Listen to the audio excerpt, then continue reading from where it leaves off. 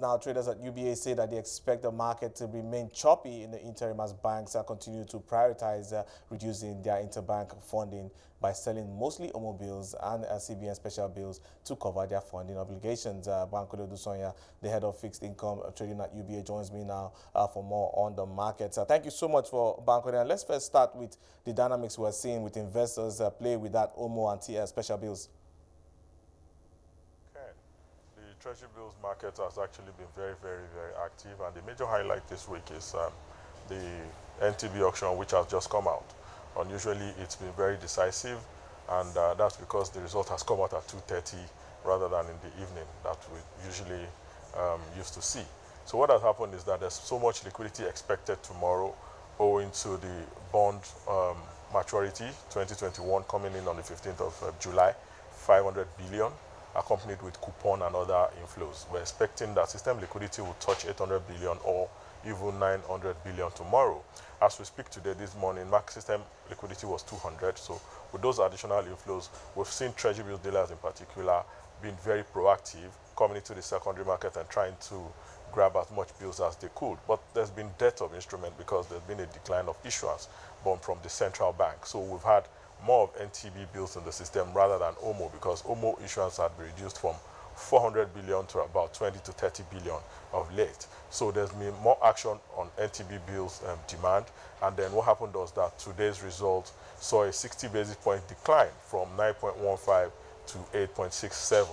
Uh, it's unprecedented this year, but the last time we saw such a drop was last year when um, there was so much funds also and then interest rate was declining.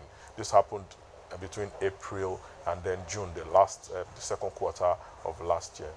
Bankole, where are we seeing the bond yield, uh, yields heading to, especially with these new levels of um, liquidity that we're expecting in the market, as well as the reopening of the 2068, uh, 2028 and 2036 bonds?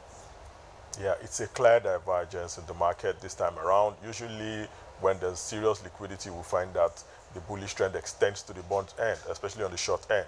But that's not happening this time around because the yield expectation is uh, still high compared to um, uh, inflation and then the expectation that the uh, federal government is in need and will need to borrow more.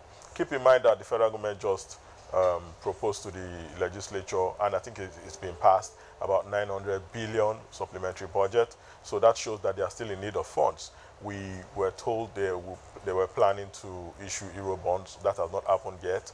And then if you look at the external reserve, we are, we are currently at a 13-month low. If you put together all that factor, it's expected that yields, I mean, huge funds who have the money want more for their money in long-term assets. So right now, we are playing short. We're seeing most funds like PFAs play on the term deposit level. So they're buying CPs as alternative source of investment, and they are very playing very heavily on the NTB side. So right now, there's there's there's a little bit more um, caution being expressed by most dealers and investors on the bonds end of the market. So we've seen yields inch up compared to where they were two weeks ago. So going into the next auction, we're expecting that there's a possibility that yields stop at where they stopped at um, June's um, auction or possibly even inch up um, higher in line with market expectation of long-term debt instruments. Uh, Bankole, what's your call for interest rates in the second half then, real quick? Honestly, we're, we're generally it's a um, uh, we, are expecting higher interest rates simply because of where inflation is and then the need to borrow from the um, um, federal government. So that supplementary budget um, approval they got probably means they'll be issuing more instruments through the DMO. So you'll be, as the fund holder, uh, willing to reprice compared to the levels we are now, especially on the bonds.